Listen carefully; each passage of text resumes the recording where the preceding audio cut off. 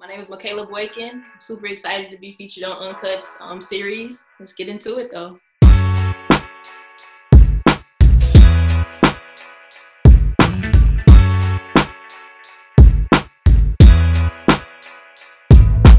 I've been, you know, involved in like music and stuff like that since like high school. But once we got into quarantine over like the March through, you know, even now, it's something that I'm like super passionate about as I've been finding myself, um, you know, just being at home and just trying to find new things about me and things that I love. Music is a way for me to express my feelings and how I feel about it, everything. And it's, it's kind of a way for me to, um, you know, put everything that I, I want to say into into my own words and into like a song. Definitely right now, especially with social injustice and stuff like that, I'm specifically targeting people who will listen to the words, not just like a catchy tune. It's like, you know, listening to the words and, you know, what I got to say. Everything that I write and everything I put out is 100%, you know, authentic. The things that I'm talking about in my in my raps is serious and it's something that people need to listen to. You know, the George Floyd, that's when I put out my first um, video. It was something that, you know, I literally couldn't sleep that night when I put that, I was writing that song. It took about 45 minutes to write. Um, the hardest part about that one was recording it and it was just like a lot of emotions and stuff like that flowing through my head. So I really was in like distraught whenever I found out the news about Jacob Blake. It was just like, how can this cycle keep being like repeated so many times and no change is happening? I write the song just to show the pain that I've been feeling. No words in the world that helps recover from this healing. Enraged, dangerous thoughts stem from senseless cop killing. All of my people, how can you find this appealing? It said establish justice in the Constitution, they said. Killing all my people is a new norm instead. Want us to have peace when our brother's blood shed. You lose your brainwash, really messed up in the head. Can't fell a system that was set to never serve and protect. Being black in America is the scariest thing ever like you never know, you can walk outside and have the worst encounter ever, and your life is gone. That's just how our world is. This is right down the street. Two little black boys were, um, I guess, they were identified as somebody of, you know, as a suspect, but it was somebody who they thought, you know, did something, and they pulled guns out on the little black boys, and it was something that, you know, shouldn't happen. Like, come on, they're, they're kids but yeah, I feel like, you know, just being black in America is you can go outside any day and your life can be taken away. And that's just kind of like, you know, why I wrote that part in there because you never know.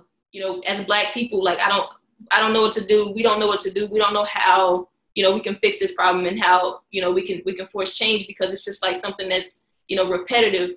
Um, so when I wrote that, I, I literally was in distraught when I was writing that piece because, you know, I didn't know what to do. It's like we scream no justice, no peace, cause it has never been no peace. When we encounter the police, they'll see one black body, and now they reaching for their piece. And the end result is critical harm or black body deceased. You know, as a whole, we need to do better at uplifting everyone in the black community and standing behind each other regardless because, you know, right now it's just, I feel like it's black people versus racism. Um, and, you know, it's sad, but it's true and if we we all stand together you know we'll we'll come closer to make seeing the changes and making the changes that we want. We've been consistent with you know fighting for you know our rights and fighting for our people. And i'm very appreciative of those who are on the front lines kind of you know help help enforce enforce that change. Um, but yeah i feel like it's it's not really coming in bursts. I feel like it's something that's very stagnant and, and staying. And i do um, feel like we will have change coming soon.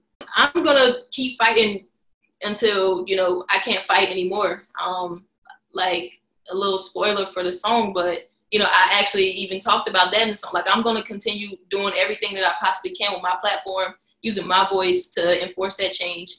Um, whether that is getting more people to vote, getting people to register to vote, just doing anything that I possibly can to you know help enforce that change. But I'm gonna constantly use my voice um, until I see you know you know my people being free and my people you know living a life comfortably coaches, the Duke Women's Basketball Program, Duke Athletics, um, specifically Nolan Smith, they've been behind me 10 toes with anything and everything I wanted to do. Um, whatever change I wanted to make within the community, they're, you know, standing behind me and, you know, they're willing to do it. It's just, you know, they've always been there and they've always been supporting regardless um, circumstances. Thanks to Uncut, um, Uncut team for, you know, making it possible for me to share my voice and, you know, my thoughts and my feelings uh, thanks for you know let allow me to be vulnerable to you know what's going on and, and to myself.